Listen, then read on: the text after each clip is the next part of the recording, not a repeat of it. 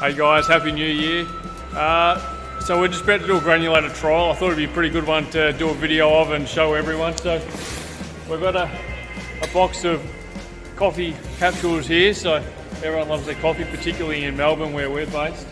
So they're brand new sort of production rejects. We're trying to granulate them and see if we can separate the, the grind from the plastic to uh, improve some recycling outcomes. So here we go, we're going turn the machine on. It's a, a little granulator for the trial. So we're, we're going to chuck them in here and see how we go.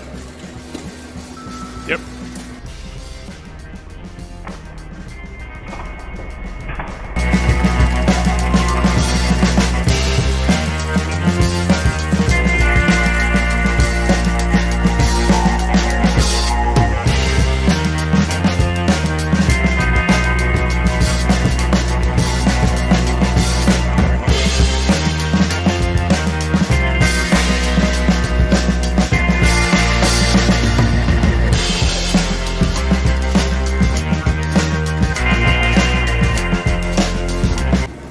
Okay, so the granulator's running now. As you just saw, they're going through pretty well.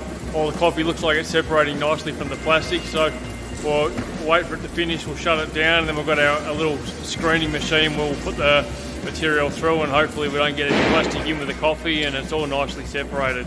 The customer's happy. That's how we